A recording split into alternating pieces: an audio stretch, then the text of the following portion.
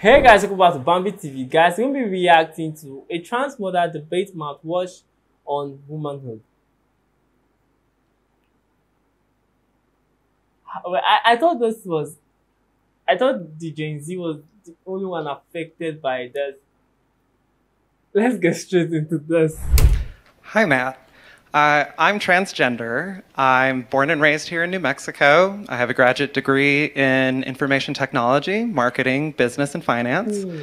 Uh, I own my own home. I pay taxes. I have a six figure job. I'm a respected professional in Albuquerque. Uh, I'm a mother.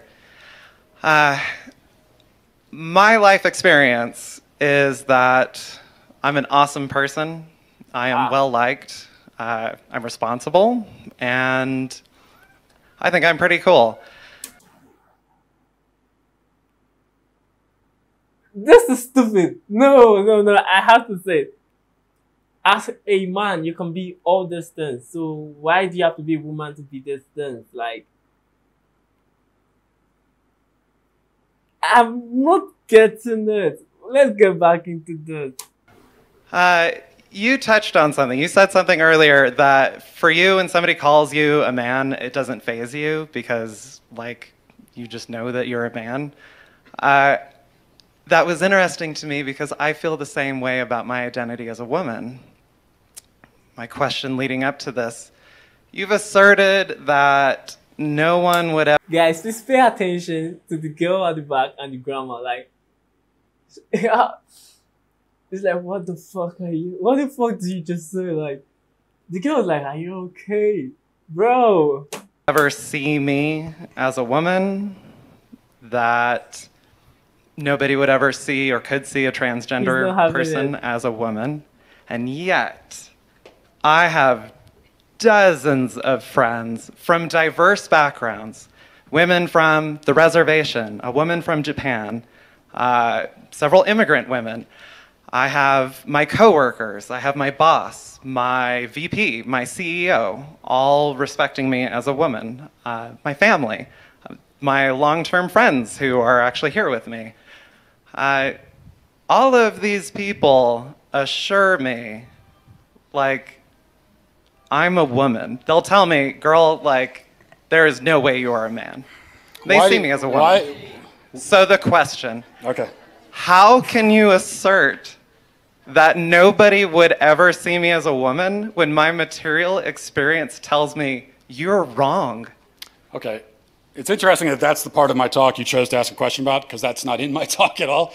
Um, I don't believe I said that no one would ever see you as a woman. I mean, it's possible, I suppose, that you could fool someone. Now, you brought this up, so I have to tell you that I, you brought this up. You've, you've put your identity on the table for conversation. And so I'm going to say you, you wouldn't fool me at all. I mean, I see a man 100%. Yes. Um, and I think that most people would. Now, the, the, fact, the fact that you have people in your life who are saying to you, oh, you're totally a woman, it's exactly what I'm talking about. No one in my life has ever once said to me, you're totally a man, Matt. You know, if, my, if, if, if, if a friend of mine called me on the phone and said, listen, Matt, I want you to know you're really a man. Right, man. I would think that there was something wrong with him. I would say, why yes. are you saying that at all? It doesn't make any sense. So the fact that this is a conversation to begin with tells me it only it only proves the point that I'm trying to make that the, that your identity, even in your own mind, is up for it's something that you need to be assured of. Now, what I what I would like to ask you again, because you're standing here, and and so uh, you've brought your identity on the table for discussion. So, uh, how did you how do you know that you're a woman? Uh, it was first when I heard transgender persons describe their experience in their own words, and this was only about two years ago. Uh, hearing somebody describe things, it was a woman from like England describing her experience, her childhood, uh, her teenage years. And it blew my mind to be listening to her because it was just some podcast that I was listening to while I was like doing laundry. But it blew my mind to hear somebody so eloquently and precisely describe things that I had experiences what that I had experienced. What did they say? Yeah, um, I, I only okay. Know. So I am honestly hesitant. I know that you touched earlier about the difficulty that transgender women might have in describing their identity, but I want to state I honestly don't feel that you would engage in this conversation in good faith. Then why are you here? So, why did you stand up to talk to me if you don't want to have a conversation? You're, you're saying that you discovered that you're a woman. I'm asking you how you did. That's a very fair question. Okay, okay. How do you know that you're a woman? That's fine. All right. So first of all, listening to transgender people, and it was like, okay, this is a one-off, you know, one person describing these things. Um, things like looking at yourself in the mirror and not recognizing yourself. Uh, hearing compliments like, you are such an example, like a positive masculine role model. And just hearing that and being like, you know, it feels like they're talking about somebody else. Um, it means feeling alone, even when you're surrounded by guys, even when you have a lot of friends. And I was active in like Boy Scouts, I'm an Eagle Scout. Uh, I had great masculine role models my whole life, and yet I never felt like I belonged. I felt welcome and but included. Why, why does that make you a woman? Uh, As opposed I, to just a, a man who doesn't get along with some other men or a man who's, who's, who's depressed, or a man who doesn't feel at home totally in his body, which, by the way, is a, is a pretty universal human experience. Everybody goes through it at one yes. time or another. So, so, in what way does that make you a woman, though? And you, you, it, it's interesting, you're, you're telling me that you listen to the experiences of other transgender people. Well, yeah. But what about women? So, you, are because you, are, trans women are women, you would say, right? I would say that, yeah. Exactly the same? Yes. Okay, well, then why well, do you need to hear the testimony of trans, quote unquote, trans women? Like, how, how, how you pick any, any actual woman in this room. In, in what way do you know that you belong in the same category as them? Uh, I know because they tell me. So here was the. You need them to tell you what you are? Women. Yes. I trust the opinions of the women around and me. if most women. It's incredible. You might try it sometime. If most women voted and said they don't see you as a woman, would you say, I'm not a woman anymore? If who? If most women voted and said they don't see you as a woman anymore, would you then relent and say, I'm not a woman? I would say most people on the planet have no idea who I am. I'm going to trust the opinions of the people who've spent their lives with me. So, you, but you are relying on other people to tell you who you are, is what we're establishing.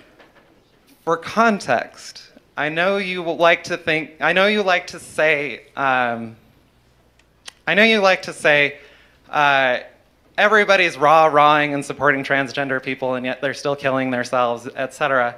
Um, but I'm standing here in a room full of people applauding you and asking questions like, how can I like put out legislation here in New Mexico, you know, my home state I grew up in, to try to reverse transgenderism? Like, I'm not safe. And it How are you not safe? You just said you're standing in a room with people who disagree with you and you're perfectly fine. So how are you not safe? Like, I, okay, look, we're, we're going round and round. You, you, you, don't want to answer any of the questions. Maybe we'll, we'll, just we'll end with this because we're talking about womanhood. So people can probably shout out the question I'm going to ask you right now. Okay. But uh, you know that you're a woman. Yes. What is that? Uh, so gender is a social thing. It only I don't makes want to hear that. What is a woman? What no. is a woman? What is a woman? The word, word woman, define in the dictionary. Go. A woman is somebody who is included and respected and seen and participates in society, recognized by other women. If you speak with women, circular definition. That's mine. Whatever. Okay. All right. Okay. Like someone saying a hospital is a place where you go and play football. Like it's stupid.